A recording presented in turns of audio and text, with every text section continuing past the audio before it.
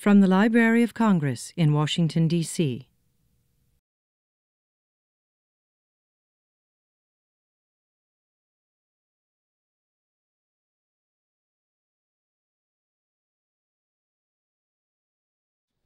I'm John Cole. I'm the director of the Center for the Book in the Library of Congress, and we are pleased to have a Publication Day party for Ralph's second book, which was published today The House at the End of the Road The Story of Three Generations of an Interracial Family in the American South, which is a different subtitle than we found, it, than we put in our press release. Uh, and that's something that Ralph can address because the subtitle initially was a story of race, identity, and memory. And I think that may be a more accurate uh, description, but we'll let Ralph address that question. We are pleased to not only have you here, but once again to uh, continue our series of noontime talks, which are videotaped for broadcast uh, on the library's website and on the Center for the Books website. Uh, we will, Ralph will speak for about 40 minutes, and we'll open it up for questions and answers and have a book signing starting not later uh, than 1 o'clock. Uh, there will be questions and answers, and if you have questions and answers, you are giving us permission to use your words and your image, perhaps uh, in the videotape Q&A part of our Q&A part of our videotape a little later. Along those lines, uh, please do turn off all Blackberries and all things electronic uh, so we can keep our record of more than 100 uh, webcasts going with a, a, minimum number of blemishes and uh, errors from both the audience and from the introducer. Uh, Ralph's first book, and I will say a word or two about it, uh, Ever is a Long Time, A Journey into Mississippi's Dark Past, uh, is in many ways the takeoff point for what we're going to hear about the brand new book. And it's a most interesting, not only interesting, but moving uh, description of his own family and his own search for his identity and his background, uh, told from in a detective story kind of way. As you, uh, if those of you who've read the first book will realize he uh, made some discoveries about his own family in archival records, and he pursued those archival records with diligence and all of the great skills he's learned at the Library of Congress, where he has been the head of the publishing office since 1995. Uh, Ralph uh, tells, continues that story, and that is the story that we're going to hear today. He also just told me that uh, he will be uh, speaking at Politics and Prose on June 18th uh, all of this is wonderful uh, publicity for the library in so many ways, not just because Ralph works here, but of course of the stories that he's telling about his own family and the natural connection that people make with stories and genealogy and history and archives uh, in a very important time uh, in our country. Which, believe it or not, brings up very quickly the National Book Festival. We have a book festival on uh, schedule for September 26th. We have not yet officially announced it because we are hoping very soon to be able to announce that uh, President and Mrs. Obama will be honorary co chairs of the Center for the Book. Now, I hope I'm not jinxing anything by mentioning this, but we have waited quite a while for this announcement, but it, but it needs to be a coordinated announcement with, from the White House first and uh, the Library of Congress but I think that this will be a wonderful vote of confidence for the library's book festival and for a continuation of these author talks, and I hope that it will uh, uh, help strengthen the overall reading and book and literature promotion side of the Library of Congress. Uh, Ralph is going to take over right now, and let's give Ralph Eubanks a round of applause and a good start. Ralph?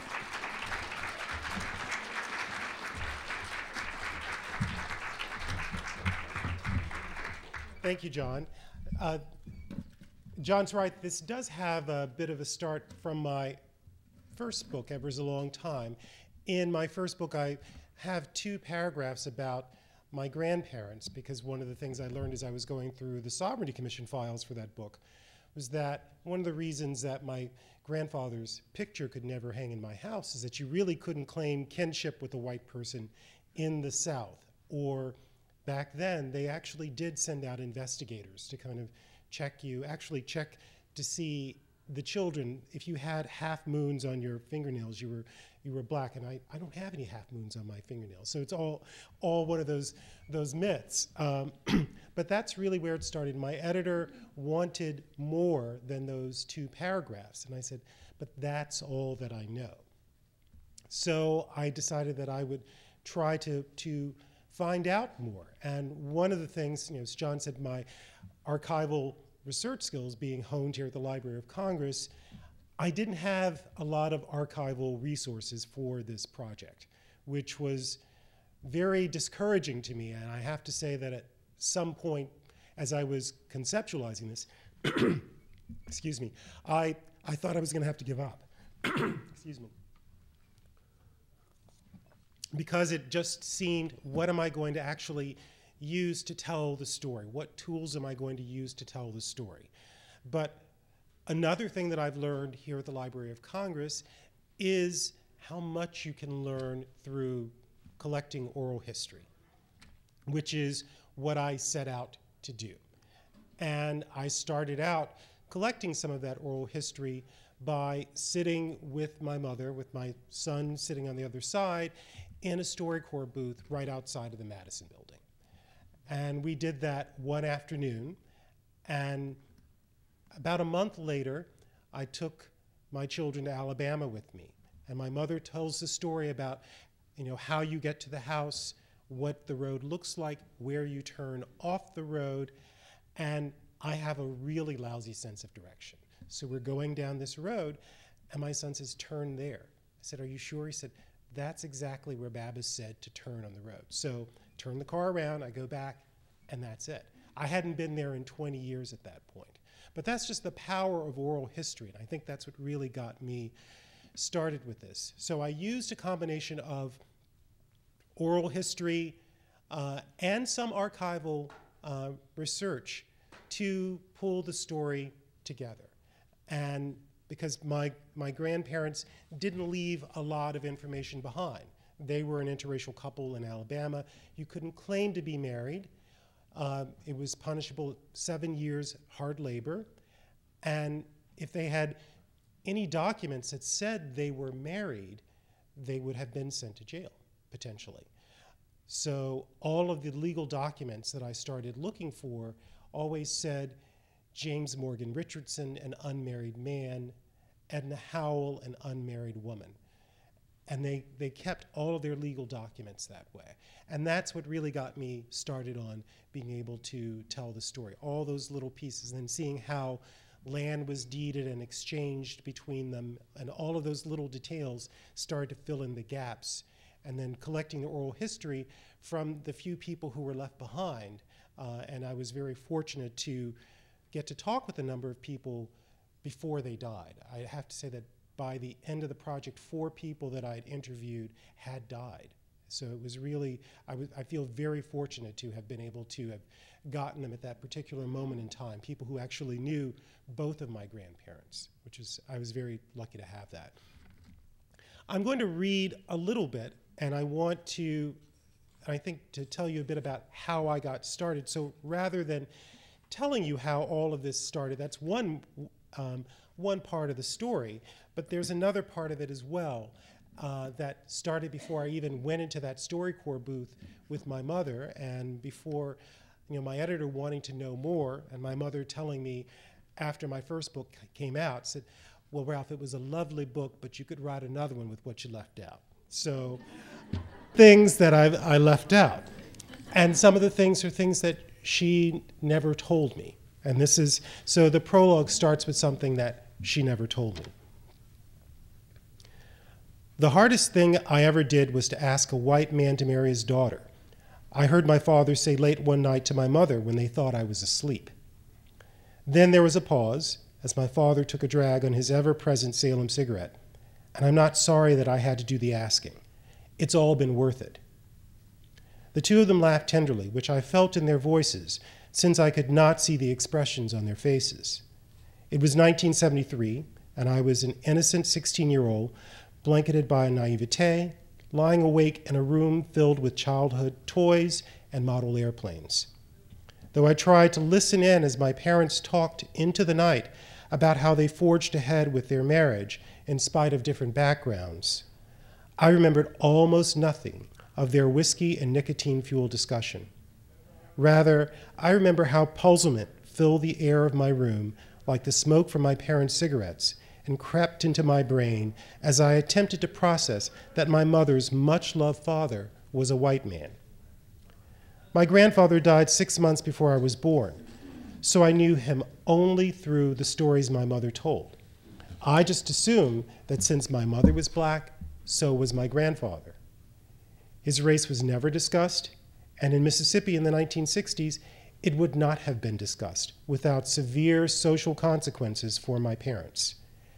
Now I understood why my, parent, why my grandfather's portrait sat in my parents' closet, emitting a dusky evanescence from behind the closed door. Yet that evening, overcome with adolescent narcissism, I thought only about how what I had just heard affected me. The impact of my mother living in a mixed race household in the Jim Crow South of the 1930s stood invisibly in a dark corner of the room. With a consciousness rooted in black pride and the civil rights movement, I quickly concluded that my grandfather's race had nothing to do with my racial identity. Soon I was fast asleep, leaving my parents' conversation to drift into the night air. Almost 30 years later, memories of that evening began to come back. My mother and I were together with my daughter Delaney in her school for a classroom presentation about holiday memories. After the children told their stories about family Thanksgivings, Delaney innocently asked my mother to tell her about the most memorable Thanksgiving from her childhood. Holding tightly to her emotions, my mother struggled to tell Delaney about a special Thanksgiving when her mother's friend Miss Callie came and made a big dinner just for the children and played games with them. It was painfully clear to me that that was all she could say without losing her composure in front of a kindergartner. When we left the classroom, we stopped on the front steps of the school on the way to the car. What happened that Thanksgiving, Mom? I asked quietly, sensing that she was still upset. Then, standing ramrod straight and glancing directly into my eyes, my mother began to tell me a story I had never heard. This time, I did not let my thoughts drift away as I did all those years ago. Instead, I listened intently as the memories etched lines in the pain of her face. When my mother died, for a brief time, I felt like I became invisible, she told me. And the Thanksgiving I was trying to talk about was when my mother died. My mother, Lucille Richardson, was only seven years old at the time, old enough to know what had happened to her mother, but young enough to slither through the rooms of her house unnoticed by her father who was devastated by his loss. My mother recalled that all the mirrors in the house were covered with thin white sheets, perhaps to keep her mother's spirit at rest. That made it easy to sneak around. As she surreptitiously watched her mother being placed in a casket wearing a powder blue dress with a white lace collar, a dress her mother had sewn with her own hands, Lucille wondered what would happen to her now that her mother was dead. In spite of her ability to hide and eavesdrop, she struggled to decipher what the grown ups around her were saying about her future. Then, just days after her mother's burial, she found herself sitting on the back seat of a 1936 Ford with her nine year old sister, staring through the car's rear window as her white clapboard farmhouse at the end of the road got smaller and smaller in the distance, finally fading into one of the clouds of dust that billowed behind the car. Sent to live with relatives in Mobile, Alabama, separated from the home she loved, her older siblings, and her father, Lucille did not know when she would return. Before she could come back to her house at the end of the road, her father had to figure out what to do with his family. Would they stay in Alabama, or would they move north to pass for white? It was something that was whispered about among the family, something Lucille overheard, and finally connected with an incident from a few years before her mother died. That day, her father, Jim, was injured in a logging accident a few miles from their house. After the accident, a group of men, all of them white, brought him to the house.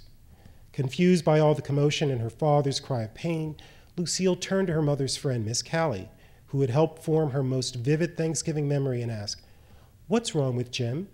To everyone, including his children. Her father was known by his first name, without any pretense of formality. Good God Almighty, little girl, I didn't ask them what was wrong with that white man, Miss Callie replied. Confused, Lucille turned to Miss Callie and asked, Is my daddy a white man? Miss Callie then shouted with disbelief to Lucille's mother, Edna, Edna, why didn't you tell this little girl that her daddy was a white man? Because it's her daddy and it doesn't matter, Miss Callie. But now, just three years later, whether you were black or white did matter for some reason. The family's future seemed to hang in the balance between the black and white worlds they straddled. The town doctor who pronounced her mother dead offered to help the family start over, far away from rural Alabama, as a white family. Even some of her lighter skinned black relatives talked about how the Richardson family could slip into the white world unnoticed. Although Edna was black, all the children's birth certificates said they were white. So it would have been easy. In the end, Jim Richardson chose not to hide his children's mixed race behind a lie. The family was reunited, and Jim chose to make his children acknowledge who they were, rather than to see themselves the way the rest of the world chose to see them. To this day, no one in the Richardson family has regretted making what seemed at the time the harder of two choices. This is the story of why they made that choice and how it has reverberated through the family for three generations. So it was that story that my mother told me on the, the steps of my daughter's school that really set all of this in motion for me and made me want to learn more about who my grandfather was, who was the person in the portrait, and I think, moreover, who was the person in the portrait that was supposed to be sitting right next to my grandfather, my grandmother. No pictures of her exist. So I set out to tell this story by trying to paint a picture of who both of them were, who these two people were, who were kind of um, unknown to me for, for much of my life. And I, and I had to, to dig very deep and hard. I had to go, as I said, into land records. I learned of a, a murder that my grandfather had committed. And I spent an entire day going through the papers to, to, in a courthouse trying to find what had actually happened that day, only to learn that that had probably been thrown away because his parents had gotten him out of the charge. Um, going to look for other documents and discovering that my the reason one of the reasons that my grandfather probably was never arrested was because they had real first family status in this part of Alabama. Their land had come from a grant from George III. So they were British loyalists. And they were able to keep that land when Alabama, the, the old Mississippi Territory, went from English hands to Spanish hands into American hands. So they were very crafty people, and that was, uh, I think my, my grandfather inherited that craftiness. Uh, what I want to do is just read very quickly to give you a sense of where the story takes place in Alabama. It's a very special place, it's a very unique place, and it's also a place that is going to be gone very soon. Much of it is gone. And that was the other um, reason I wanted to tell this story, was because I knew that no one would remember anything about this little town of Prestwick, Alabama, or the neighboring town of Carson, where my grandfather lived. These were two towns that were very important in that part of Alabama. They were sawmills, they were right on the Southern Railroad. But all of that's gone now. Uh, yet, this is the interesting thing. Uh, when I drive there now with my GPS so I can find my way so that I don't get lost, when I cross those railroad tracks where my son told me to turn, and it says Prestwick, Alabama, it says you have reached your destination. So it is still it is in my, my GPS, and, it, and it's funny. It's a, it's a British GPS, so it says it doesn't say you've reached your destination. It says you have reached your destination. So, which seems a little bit out of place where I am. Uh, what I I just want to mention. Um, this also took me down some a couple of other paths. I ended up having my DNA analyzed, looking at this through um, through science, and it really transformed the way that I personally thought about race. It completely deconstructed the concept of race. And as I was telling a friend of mine last night, I realized that the as I, this story went on, and I actually took my daughter with me to Alabama, who asked me, said, why does all of this stuff matter so much? That I didn't really need to have my DNA done to deconstruct race. It's the next generation that's already doing that. Uh, and perhaps it's because of what we know about DNA and science, and that out of the, all of the various parts of the human genome, there's only an infinitesimal amount that really gives skin color and other physical characteristics. So it's quite insignificant. But I want to just give you a sense of where this story takes place. Uh, and it's a, it's a beautiful place. And I just want to paint a picture for you, and then I want to take your questions. Um, the first chapter of the book is called The World as They Found It. And this quote stood up on my bulletin board for a long time as I was writing it. And it's from Joan Didion. It says, A place belongs forever to whoever claims it hardest, remembers it most obsessively, wrenches it from itself, shapes it, renders it, loves it so radically that he remakes it in his image. And I think that's what Prestwick, Alabama was for my grandparents. The canopy of moss hanging from the old live oak trees gives this place a torrid primeval beauty. As I walk down the winding sand covered roads, I'm overcome with a peaceful silence that's interrupted only by the soft murmur of the soles of my shoes moving through the sand. There's not a soul in sight. Then I turn a corner and see it an abandoned church covered in vines and wisteria, the first sign that there was once a real community here. Around the next corner stands a trailer home with abandoned clutter in the yard. After a few more twists and turns, there sits a white clapboard house at the end of the road that everyone around here will tell you was the, was the home of the most important family in this now deserted town of Prestwick, Alabama. Prestwick disappeared without a trace from the Alabama state map more than a generation ago, about the time the nearby whistle stop hamlet of Carson met the same fate. In the years since their respective post offices and general stores shuttered their doors, almost every sign of these once vibrant communities faded away. As I wander these roads, I stop and ask people what this place was like years ago. First, they hesitate. It's almost as if the little that remains of the past and the present makes it painful to speak of the distant glory of these communities. After a pensive pause, they start to tell me about those majestic trees that look much as they did years ago. Some even speak of them as if they are the only friends from the past they have left. The older residents are right. The grandeur of the live oak trees is about all that remains of Prestwick. There are people here, but few of them are young, and the older ones are slowly dying. What once brought Prestwick to life has disintegrated into the dusty road under my feet and under the headstones of the cemeteries I pass along the way. The railroad tracks near the site of the old depot bear a brown coating of rust from lack of use. And with strong winds from storms off the Gulf of Mexico in recent years, some of those much prized majestic trees are fading into memory as well. Storms combined with development of large, lavish houses for weekend hunting and fishing parties from nearby Mobile will soon erase what is left of a world lost. In spite of it all, Prestwick, Alabama clutches tightly and lovingly to its former glory as a largely independent black community.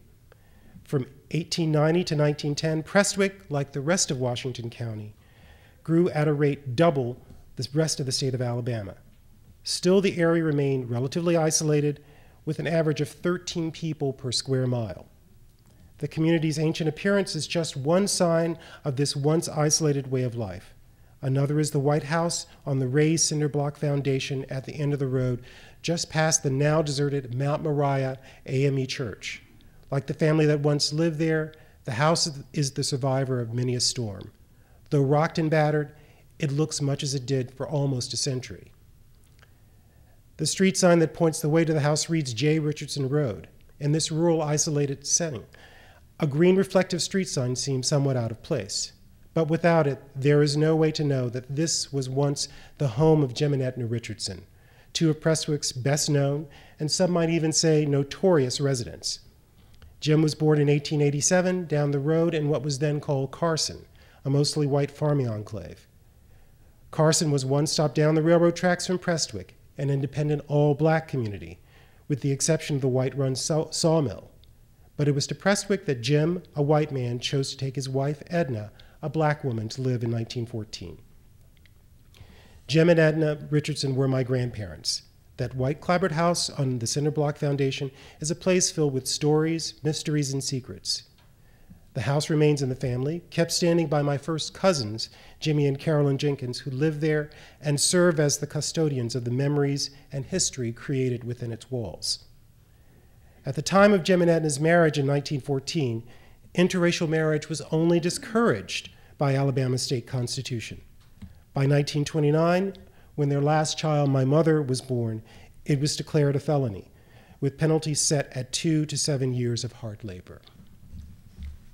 So that's really Prestwick and Carson, these two communities that I, that I visited and learned and got to know a lot of people who are related to me on both the black side of the family and the white side of the family. I ended up writing a lot at a cabin that's just down, um, just a bit from where my grandfather kept his moonshine still. He was a logger, he was a bootlegger as well. And one of the things that I would keep there as kind of a touchstone was one of the, the rings from the, um, from the still, because it was, a, it was, I guess he, it was aged in oak, so it was, he had rings around it. And I heard that it was really good. Um, and I only wish that I could have a, a, taste of it myself. But one of the things I, I did was try, I was, it's interesting, I, for doing this book, I researched a lot, I collected a lot of oral history, but it also took me a lot to poetry to try to figure out how some of these stories went together. So, one of the things I want to conclude here and, and then take your questions, and this is another one of those things that stood over my desk, was a poem by Robert Hayden called Frederick Douglass, which really inspired me to think about my grandparents, about their relationship as what he calls a beautiful, needful thing. And I, as throughout this, I would think about this poem. It was in my uh, journal, and think about what was this beautiful, needful thing that they were trying to bring into their lives, into the lives of other people. And that's one of the things that kept me going with this project, even at times when I would get very frustrated with white relatives who didn't want to talk anymore, um, people that I would sit with for hours who would tell the same story over and over again, and, and even, I think, just frustrating even the best interviewer. Uh, and unfortunately, one of the things I would have to do is I would take my cousin Jimmy along with me, who I found had superb interviewing skills for someone who's not trained as a journalist. And he would he'd know what questions to ask the people because he was familiar with them. He would just kind of dive into those discussions. But this is the poem that really inspired me and um, to write about them in one of the chapters is called A Beautiful Needful Thing. When it is finally ours, this freedom, this liberty, this beautiful and terrible thing, needful to man as air, usable as earth, when it belongs at last to all, when it is truly instinct, brain matter, diastole, systole, reflex action, when it is finally won, when it is more than the gaudy mumbo jumbo of politicians. This man, this Douglass, this former slave, this Negro, beaten to his knees, exiled, visioning a world where none is lonely, none hunted, alien. This man, superb in love and logic, this man shall be remembered. Oh, not with statues, rhetoric, not with legends and poems and wreaths of bronze alone, but with the lives grown out of his life, the lives fleshing his dream of the beautiful, needful thing. So, this book is really a memorial to the beautiful, needful thing of my, that my grandparents had in their relationship. And I hope that it's a fitting memorial, and I hope that you enjoy reading it. Thank you.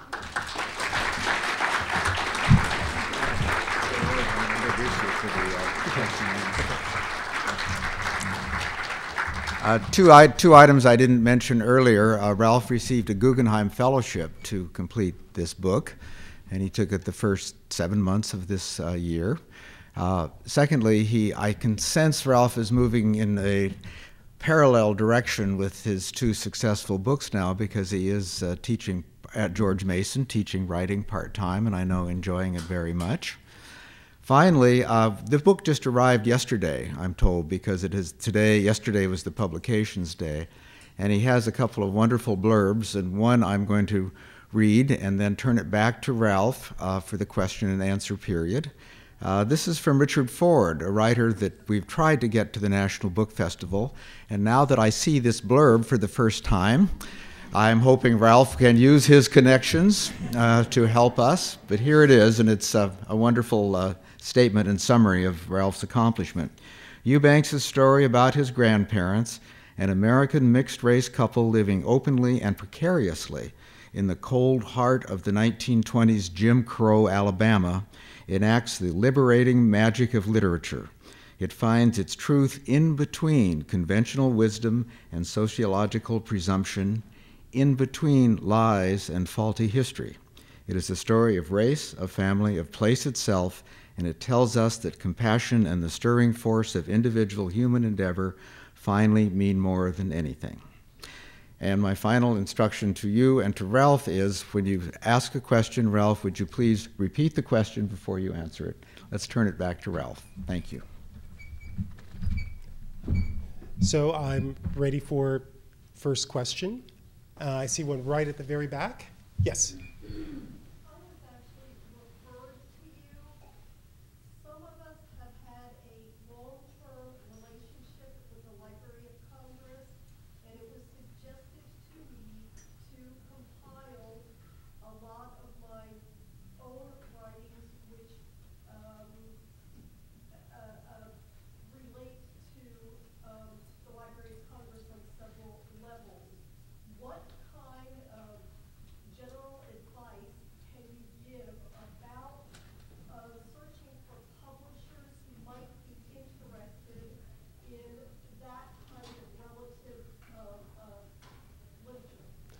Ah, that's um, the, the, the question is about advice that I could give to someone seeking a publisher. Is that the, the uh, I guess the, the advice that I would I would give is the advice that I give to, to every writer is to, to find a, a literary agent, and that's that's the that's the first step, and and that's I, that's not as easy as it sounds, but that's really the, the first step that I tell every writer, and that would be my advice to you.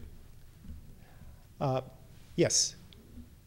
What does the adjective post-racial mean to you? Well, the post-racial to me as a term implies that we have had a conversation about race in this country, which we have not. That means that we have moved beyond that. So it's, I, I think post-racialism is, is an idea, and it's at, at this stage we haven't really gotten that conversation going.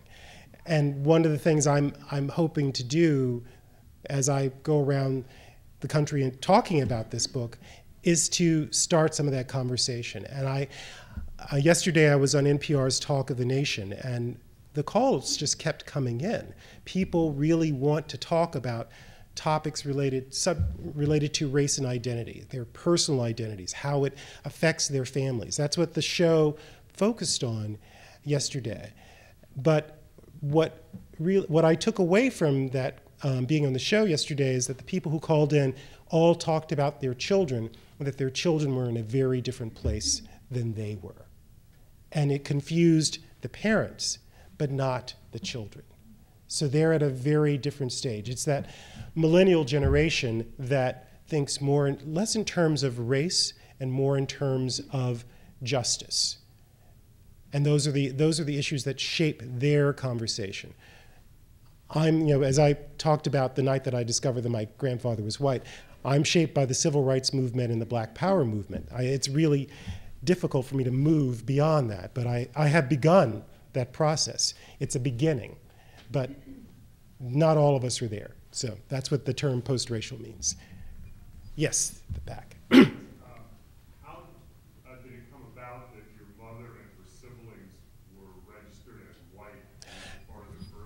That's a very good question. Dr. Bedsole, who was the family doctor, did that for the family. And he, he, that's, he did a lot of things like that for the family. For example, when my parents got married, he changed the birth certificate to colored so my parents could get married because they wouldn't have been able to have gotten married. So it's something that when you start to, you look at it and you think, gosh, how could anyone manage that? There's so much that I learned that the rules that you, that you think apply just didn't apply. People didn't follow the rules. And my grandfather was someone who clearly did not follow the rules and knew how to get what he, what he wanted. I mean, the, the rules were such that, for example, my, um, my mother could not inherit the property when my grandfather died, and he knew that. So he deeded property to all of his children several years before he died and left a portion of it to um, his own relatives, and all of his liquid assets went to them. They couldn't inherit them. That, that was the law at the time. So it was, a, it was really a way of skirting the law. So, yes, Peggy.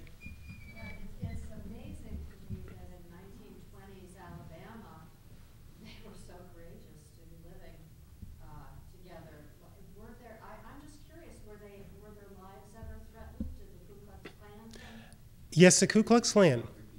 Um, yes, the question is, did were my grandparents' lives ever threatened? And the answer is, is yes. The Ku Klux Klan did come down the road, wearing their sheets, with their cross on fire, uh, and some of the people under those sheets were my grandfather's relatives, as close as first cousins, I am told.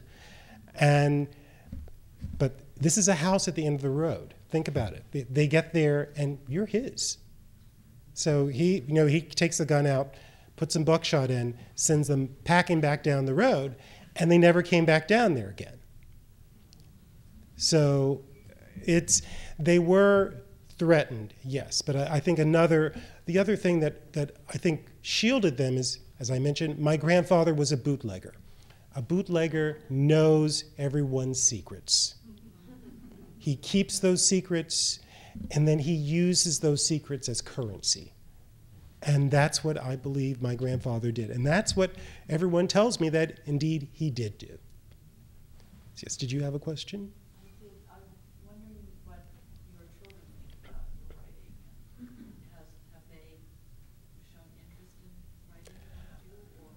Um, the question is, have my children shown an interest in, in writing? And the answer is, is yes. All three of them have shown an interest in writing. My, my son right now is uh, in a creative writing class um, at school, and my daughter uh, won a writing award last year when I was on my leave, which was a which is a great thing, and I was able to to spend some time with her on that. And she, but she never has me edit her. No one wants me to edit them. so and my and my and my son Aiden, when he was nine, wrote a fantasy novel, which is you know sitting in his closet, but he still writes. Um, but as I said, no one wants me to edit them. So, um, there are, I'm going to start here with, with you. Please, in the front. yes, yes. I was just wondering if you go back and talk a little bit more about the DNA testing and what you hope to find and how you felt about the results. Well, the question is about DNA testing, what I hope to find, and what I did find. I took the DNA test. I was working on a, a, piece for the Washington Post Outlook section. I went to a class on race relations at Penn State. And I was there the day the students got their DNA uh, results. And they talked about you know, what you find out is you're not who you think you are. Uh, you go to, I went to the geneticist's office, Mark Shriver at Penn State. Has a whole wall of photographs there.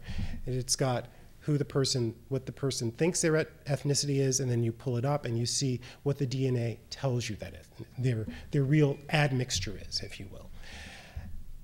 I wasn't sure what I wanted to find. I didn't want to find anything. But the interesting thing that I did find is I found that I had 6% East Asian ancestry which kind of puzzled me. So I did sit down with the geneticist, and he took me through the charts. But what that did for me, I think a lot of people get a DNA test and they look at it in terms of the one drop rule. So I've got this percentage of African ancestry, I'm black now. And for me at least, sitting with him and looking at the entire human genome, looking at all of these other results, is it completely, you know, demythologize the whole concept of, of race for me. And I started to think less about it than more. He, the geneticist even offered to do a matrilineal DNA test to find out where that East Asian ancestry came from, because he thought, you know, it could come from your grandfather uh, if there is some Scandinavian ancestry, because a lot of people in Scandinavia have some percentage of Asian ancestry, which I found very interesting since my grandparents' marriage was illegal because of laws for racial purity, which means he wasn't racially pure. But after, um, after I finished, um, I was driving back from state college. I thought, why does all of this matter? And so I chose not to have the matrilineal DNA test and just decided to move on. So yes, um, I think Patricia, you had your hand. Oh, I did. You may have already uh, mentioned this, but how did the your two grandparents uh, start dating or whatever? Well, there, there are a couple of theories about that. Uh, one is that I believe that they met through my grandfather's social network. You know, he was a logger. A lot of his most trusted uh, men in his logging team were black. A lot of the people he trusted in his moonshining were black. And this is the other component of it that plays into it. My great grandfather had two families. He had a black family and a white family. They did not, the wives did not acknowledge each other, but the children, interestingly enough, did. And my grandfather was very close to a half sister by the name of Lola, who I remember visiting in Pascagoula, Mississippi as a little boy. And I believe it's through that whole social network with his, this other, with his half siblings that he met my, my grandmother. Um, I learned of another story that he was horsewhipped by my great grandmother because he uh, had taken up with a tenant farmer's daughter, which was a white tenant farmer's daughter, which you know, these were people who were at first family status. And she had married up. She didn't want him to marry back down. And she horsewhipped him. And a lot of people wanted to say, well, he married my grandmother to get back at her for that. But you know, that's when I went around finding stories, and I found a story where a woman who was a relative said, no, it was nothing like that. Said, you know, he really loved her, and you know, he, you know, he really gave up a lot for her. So it really it changed the way. But that's it's, it's interesting how this you have to go around and hear a lot of different stories to find out what exactly went on. But I do talk about both sides of it in, in the book. And there was another question in the same section. Yes. Uh, it's not a question, but it's a statement. I wanted to say thank you for unveiling another chapter of what makes America so great. I mean, even with our imperfection, there is perfection. We have a strength and our weakness. And sharing experiences like this and the history that was not written is an incredible gift to give. Well, thank you. you know, she's thanking me for, for writing the story. I, you know, thank you for, for listening today. It, I feel very, very honored to be standing here today uh, telling you this story. My, my good friend Paul Hendrickson always reminds me that he said, not everyone gets to tell their story. Not everyone gets paid to tell their story. He said, You're very, very fortunate to have had this opportunity. And ever since he he's told me that, that's what I tell my writing students. I know at this point, you may not have an agent, you're just working, but when that actually happens, never forget that someone paid you to tell your story. And that's a very special thing to have happened. Yes, Barb? Did you record your uh, oral histories? I wonder if you talk a little bit about interviewing white people. I did record. The, the question is, did I record some of my, my interviews? Yes, I did, and I took uh, um, some of them I recorded, some of them I just took extensive notes because people didn't want the tape recorder there. Uh, that was what was really difficult for me. They didn't want the tape recorder. Uh, Now, what I did do for some of them, I collected over the phone, and I did get permission. Was I recorded those conversations over the phone, but I took extensive notes of those of those evenings that I had with people who didn't want, um, you know, their stories recorded, uh, and some of my my white relatives really did not want the stories recorded. Yes, at the very very back. Yeah, um, one of the things I found most difficult, I'm from the South, so from Louisiana, and one of the things I found most difficult is prying that information from people. Most of them are very reluctant to talk about it. A lot of them, well, they just won't talk to you. I just wondered, do you have any tips or, or Uh, Um, I guess the interviewing tip that I would have for, for someone to, to pry the information out, it was really appealing to them personally, letting them know that it was something noble that they were, were doing by telling this to me, reminding them that they're not going to be around forever and that when you go, this, you know, all of this goes with you. That really appealed to several people that I spoke with. Uh, I also had a little bit of help in getting some of these stories going. Uh, Roy Hoffman, a writer at the Mobile Press Register, learned about my work through the grapevine down there and did a story about what I was doing. And then people started calling me uh, here in Washington. And I went down and I had names, addresses, and I went around starting to collect it. But some of them, after a few months, got cold feet. Uh, so I, I experienced the same thing that you experienced. They would send me to someone else. But others just wanted to, to talk because they knew that when I'm gone, this is going to go with me. Or they saw it as, a, as repaying a debt. And that was another way that I also um, kind of cast the conversation with some of them. So that, that helped too. We have time for one more or one more question? Yes. Oh, um, talk about the subtitle if you. Oh, I will. Um, the original subtitle is the story of race, identity, and memory. And at the, the time the, that subtitle was set, the book was being published by Collins. Collins closed in January.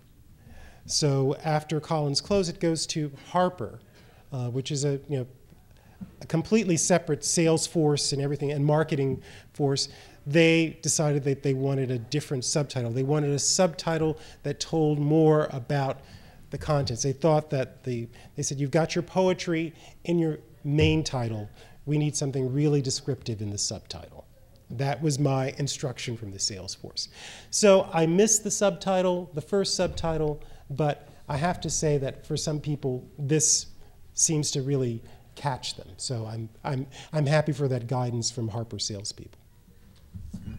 Well, we c- concluded. Thank you, Ralph.